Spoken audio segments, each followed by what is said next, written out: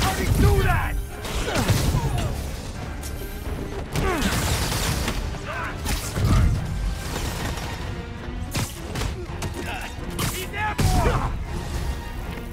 I'm curious. When you guys get food delivered, do they just drop it down a sewer drain or what?